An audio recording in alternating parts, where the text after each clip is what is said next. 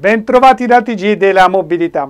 Domenica dalle prime ore del mattino e sino alle 15.30 in programma la mezza maratona Roma-Ostia lungo la Colombo. La partenza è prevista all'Euro, altezza Palalottomatica, l'arrivo alla Rotonda. Chiusure al traffico e deviazioni e limitazioni per 27 linee di bus.